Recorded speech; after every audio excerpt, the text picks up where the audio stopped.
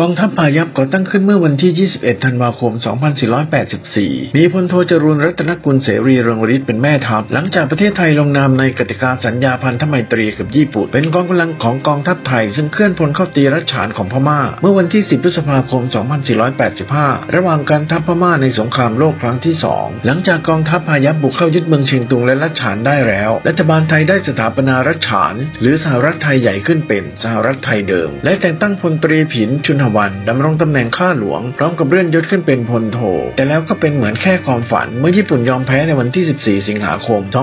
2488 ไทยก็รีบประกาศสันติภาพคืนดินแดนเหล่านี้ให้อังกฤษโดยดีคำว่าสหรัฐไทยเดิม จึงปรากฏในประวัติศาสตร์เพียงแค่ระยะสั้นๆ ส่วนที่ได้คืนมาด้านอินโดจีน ตั้งแต่จังหวัดพัตบอง จังหวัดพิบูลสงคราม จังหวัดนครจำปาสักและจังหวัดล้านช้าง ก็จำต้องคืนให้ฝรั่งเศส ส่วนกรันตันตรังกานูไซบุรีปริตก็คืนให้อังกฤษ